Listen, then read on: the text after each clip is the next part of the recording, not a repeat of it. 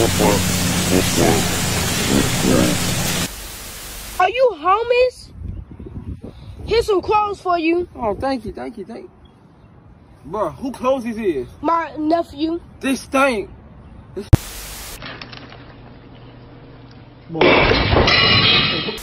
You dumb head bitch.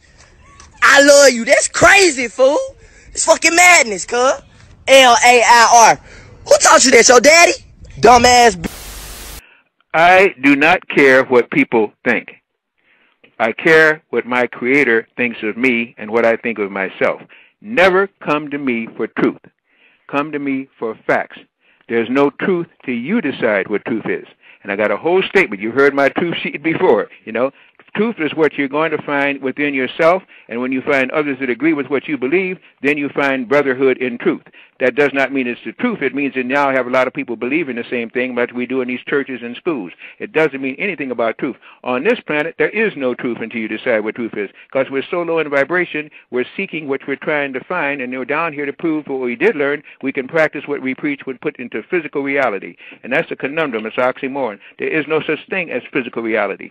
On the physical plane, it's as low as you can get on the physical to make you understand that there's nothing else you can sink down to. Now you got to go up and ascend to the heavens, the seven heavens of earth, and even on into the cosmos. I simply say again, I don't care what people think. Check my facts out.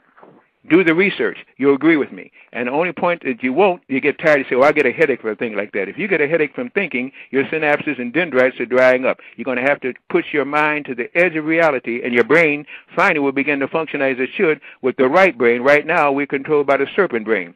Four things it does feed, fight, flee, and fornicate. And that's what we do very well. That's what they train you to do as a soldier. when you get past that, you're going to have to expand, clicking those amygdala for it, and you'll be surprised how easy it is to think. Because the more you think in free souls, you understand the universal creator, and you can go to the universal creator in mind, and all your freedoms are found through the mind. Because as I told people along, there's one answer you got concentrated thought. We still can't come together and concentrate thought unless it's praying to a Jesus or Muhammad. I'm not even going to get into that. We're using religion as a crutch. We're using thought and thinking principles as a crutch. The only crutch you have is the crutch you make for yourself. The Creator created you a free soul. Use it. Act on it. Do it.